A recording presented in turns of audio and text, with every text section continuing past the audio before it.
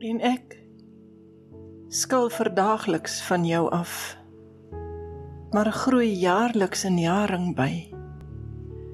Blare kraak dans elke herfs ontkleen die winter bonte pronkig in die lente en baar jou vrug in die hittegloed van ons somer geskryf deur Basjan